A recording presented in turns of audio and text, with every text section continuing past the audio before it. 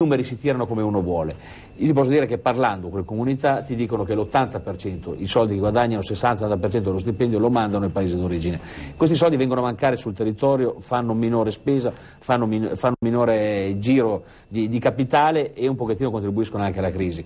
I crisi che, aggiungo una cosa, adesso non c'è tempo di sviluppare il ragionamento che conosco piuttosto bene, diventerà un problema enorme nel momento in cui ci sarà in qualche zona, qualche distretto produttivo nel quale la cassa integrazione diventerà pesante, seguirà in qualche caso oltre a cassa integrazione anche il licenziamento vero e ci saranno, perché questi già li vediamo, molti extracomunitari che non avendo invece radici fondanti sul territorio lavoreranno con meno, minore certo. tutele e minore garanzie, andando a fare concorrenza sul posto di lavoro ai nostri che rimarranno senza. E questo sarà un problema colpa anche di chi non ha voluto affrontare per vent'anni una regolamentazione seria dell'ingresso in questo paese. Su questo, Su questo bisogna, dovremmo fare, io non vorrei le banlieue all'incontrario, con i nostri che vanno a lottare per i posti di lavoro mettendo fare fuoco alle città.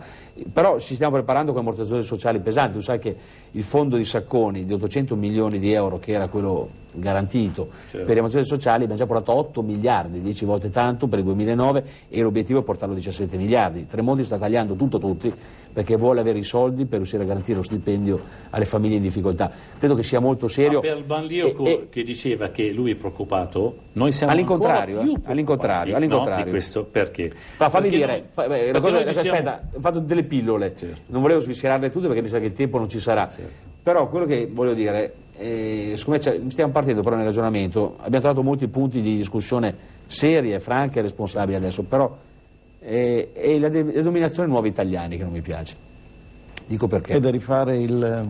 No, lo dico perché in maniera un po' provocatoria. Eh, quando apriranno un dipartimento nella Lega ne discuteremo con loro. No, i dipartimenti non servono niente, ci vuole concretezza e, cose immediate. E infatti noi su questi punti Però, qua abbiamo, ascolta, abbiamo, ascolta, ci siamo imboccati lei... le maniche, no? Ma, I nostri amici della Lega, fa, sai perché, perché, a noi piacciono, veramente abbiamo trovato mm. punti in comune, mm. perché hanno certe espressioni no? molto eh, diciamo, mh, mm, colorite, noi diciamo, no? eh, spezziamo la schiena, ce l'abbiamo duro, picchiamo qua, Vabbè, buttiamo a mare, cioè, no, io parlo di certi cliché, esponenti esatto, eccetera, no? Sì. Ma noi per carità l'abbiamo accettati. Fino al punto diciamo, delle offese, quello ci ha dispiaciuto un attimino, il problema di toccare le religioni, i maiali davanti alle moschee, tutte queste cose qua che fanno solo male, per fortuna riguarda una parte di per certi personaggi, ma il resto della Lega ha dimostrato. Io per esempio ho ottimi rapporti con il segretario della Lega a Parma, con il quale abbiamo risolto moltissimi problemi lavorando in comune, no? umilmente,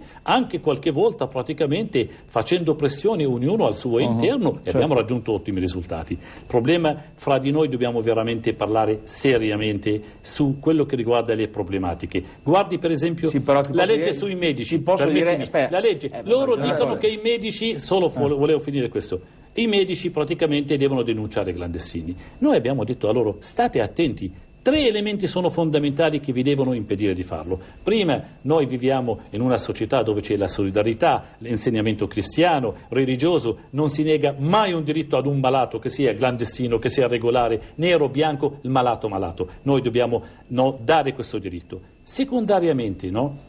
Se andate a prendere praticamente questa strada qua, ci troveremo con dei malati clandestini che lavorano nelle pizzerie che nella paura di essere denunciati non si fanno curare e vanno ad attaccare la malattia a tutti gli altri. Mm. Terzo elemento, e i miei amici della Lega lo capiranno, terzo fondamentale, facendo, eh, seguendo la vostra strada nasce una eh, eh, delle persone che si curano presso clandestini, cioè ambulatori paralleli. Ambulatori praticamente. Quindi per fortuna hanno fatto marcia indietro su quello che riguarda oh. questo. Poi hanno fatto marcia indietro su quello che riguarda no, eh, prendere il DNA questi, eh, del, del, clandestini. Poi il reato della clandestinità. Poi Vabbè, vi ricordate le scuole. E I bambini capire... non possono andare agli asili ah, perché hanno una mamma clandestina. Cioè Volevo troppi capire... slogan pian piano si sono oh. sgonfiati davanti alla perché ragione. Alessandri non piace i nuovi italiani? Sul DNA c'è la possibilità di poterlo prendere, sulle classi ponte siamo andati avanti, sui clandestini non molliamo e ti spiego perché.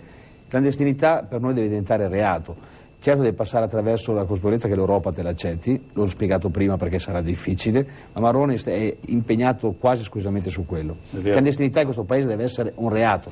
Poi il percorso non è semplice, avremo mille ostacoli e bisogna che cominciassero anche gli immigrati a darci una mano, quelli che dicono di voler seriamente rispettare le regole, perché questo paese qua non è ammissibile, però io dico sempre una cosa, A, Se l'immigrato mi racconta delle cose, come sta raccontando adesso amabilmente lui, io ho smesso di crederci, perché poi alla fine della fiera l'unica prova provata, se uno vuole dimostrare qualcosa, lo dico anche per, a volte per i nomadi, siamo, siamo bravi, non è vero che tutti rubiamo, bla bla bla bla bla, tutte chiacchiere, dimostratemelo, denunciate voi i clandestini e lo dico sempre ai nomadi, dietro i campi nomadi, denunciate qui ha rubato, perché questo non avviene mai. Ora, alla fine sono tutte belle intenzioni, ma di fronte al lato pratico siamo sempre noi cittadini che dobbiamo autotutelarci di fronte a questo, perché non è razzismo, non sono slogan, non sono battute. Ma vedi, Su... la parola Aspetta, denuncia, denunciate voi, denunciate Prego. gli altri. Sto cercando di andare veloce, alla, al sto cercando di andare veloce a darti ah. delle pillole perché ognuno di queste cose qua bisogna affrontarle in una trasmissione certo. e non c'è tempo. Esatto. Sulle questioni dei medici è previsto fin dall'inizio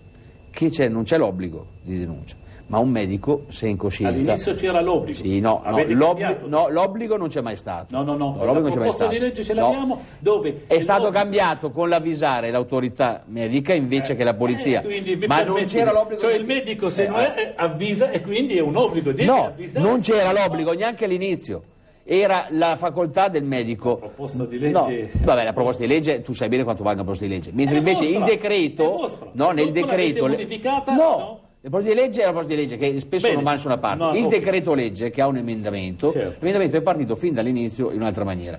Però potete dare la facoltà anche a quei medici che non vogliono fare politicizzati. E classi separate? Hanno, eh, separate di classi ponte sono già partite, eh, sono realtà, per cui questo eh, non abbiamo fatto nessuna marcia indietro. Totalmente classe ponte, non separate, è un'altra eh. cosa. No, prima avete parlato di classe separate. Classe ponte abbiamo fatto. No, no, no, classe separate. Eh, ecco perché dicevo, i miei amici della Lega fanno di slogan, ma pian dire... piano cambiano un pochettino. Per esempio, il, il figli di clandestini che non possono andare agli asili, anche questo l'avete proposto certo. fuori. Allora noi abbiamo detto, una mamma che suo figlio lo guarda e dice mamma perché io non posso andare all'asilo tutti gli altri? Perché sua mamma, chiamiamola clandestina perché si è sposata con un uomo non ha ancora fatto il permesso di soggiorno per lei.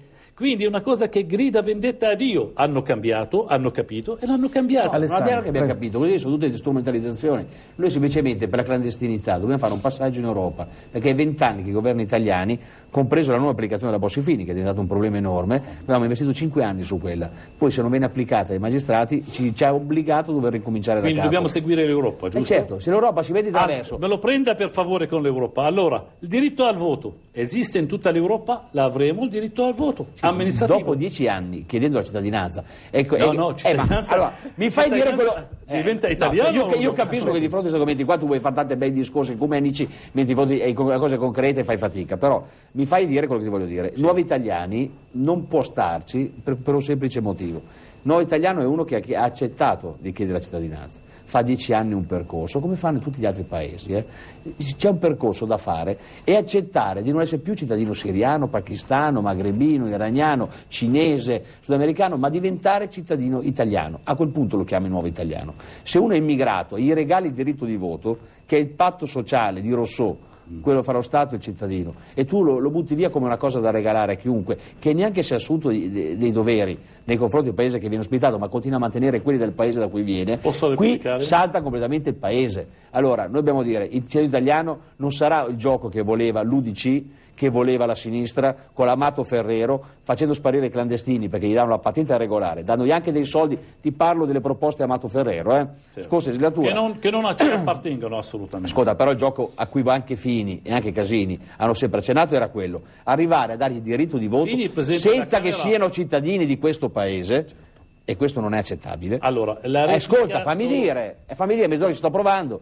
Allora, dargli il diritto di voto a gratis a nessuno bisogna pretendere che uno faccia un percorso, quando ha fatto dieci anni sceglierà se il suo futuro è ritornare a casa sua o rimanere qua. Io ho visto le primarie del PD, è andata a votare gente, qualcuno ci ha anche chiacchierato al bar perché mi è capitato di trovarli, e andavano a votare perché la Caritas o la CGL gli aveva detto di andare a votare e vanno a incidere sulla scelta di un candidato sindaco in questo caso, che magari diventerà sindaco senza sapere nulla del paese in cui stanno vivendo. Ma questo è allucinante. Allora, Ora, facciamo un percorso, pretendetelo voi per primo